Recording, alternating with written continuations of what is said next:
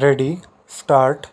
Sir, now the question arises and the amendment which honorable member has brought forward also raise the question namely to what extent the supremacy of parliament has to be accepted Sir, at one stage when the Supreme Court had struck down the Bank Nationalisation Act and the Privy Purse Abolition measure, there was a dominant body of thinking in the country that Parliament should be supreme.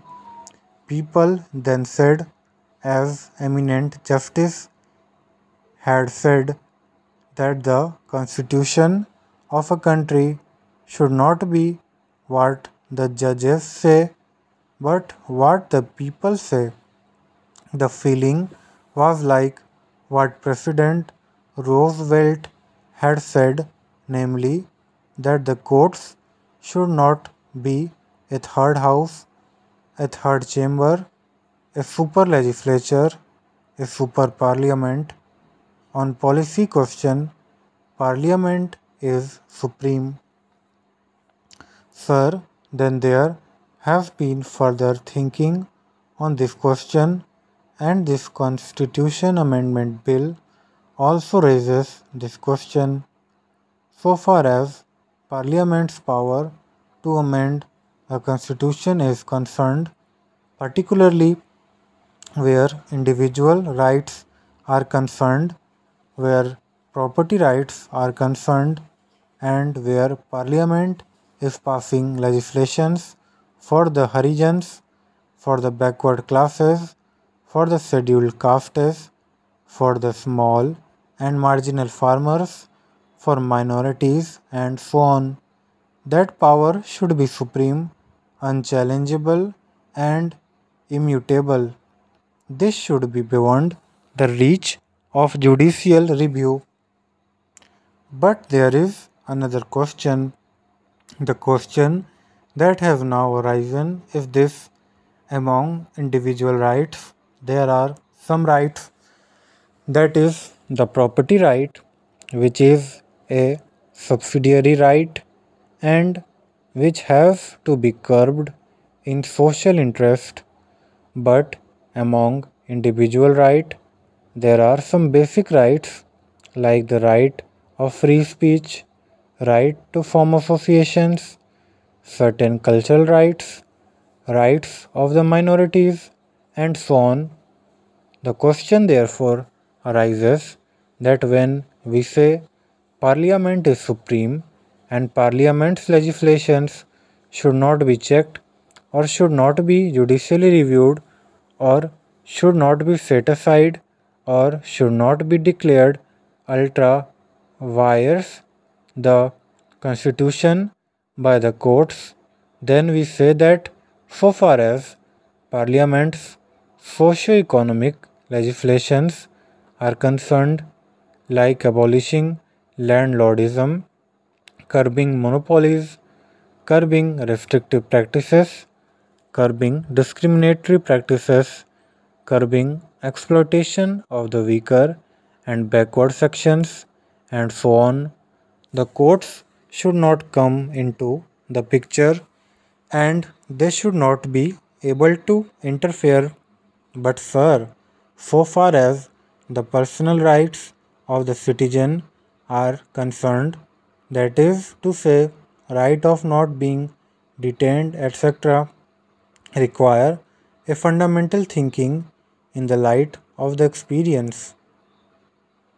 The latest Constitution Amendment Bill, which has been passed, bases itself on the assumption that there is a basic structure of the Constitution which cannot be touched, the basic structure which enshrines the faith of a secular state, a republican state, and a domestic state, democratic state a state committed to social change and advancement towards social objectives and social goals.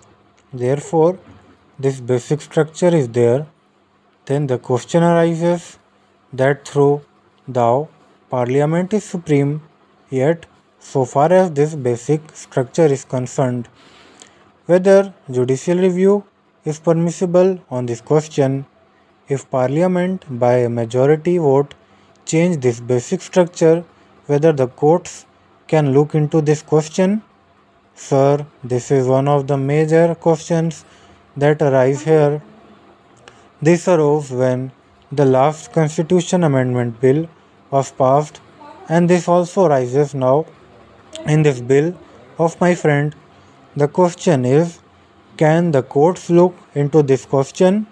So far, the government have proceeded on the assumption that there is a certain basic structure like the concept of republicanism, concept of secularism, concept of democracy and so on which should be immutable. Sir, so far as these things are concerned, I think it is an accepted position. Everybody accepts these are immutable. The question arises what are the modalities by which we ensure that these are immutable, that democracy is immutable? How do we ensure that those are immutable, that secularism is immutable, that democracy is immutable? How do we ensure that these are immutable without defining what secularism is, what democracy is, then you will be giving a very wide, untrammeled, unguided, and unchartered power to the court to define these things and then say that according to the definition of these various concepts, which are fundamental concepts and which are part of the basic structure this particular law is invalid. Therefore, Parliament must be very clear and careful in its mind. That is, if Parliament wants to give power to the courts, then the courts will review all laws in the light of the basic structure. Parliament cannot then pass a law in, nego- in negation to this basic structure. Then these concepts relating to the basic structure must be defined and it has to be ascertained how far the courts can go into them. This is one aspect. The other aspect that arises is this honorable member had suggested a parliamentary committee to go into the constitutionality of the statutes of the parliament passes. This is a very controversial position for this reason that we have got a quasi-federal structure, we have not the Council of States, we represent the states. The states have certain rights which are under the law.